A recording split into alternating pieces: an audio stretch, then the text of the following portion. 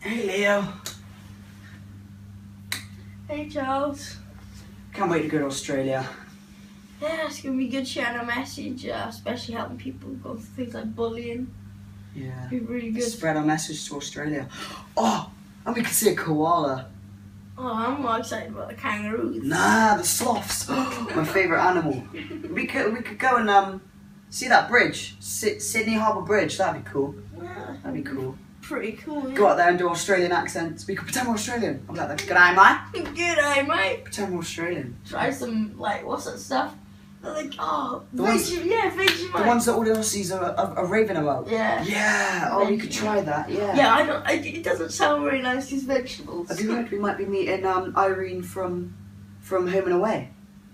Oh, an alpha Oh, that'd be so cool. Yeah, pretty good. Well, um, good night, bro. good night, Joe. Good night.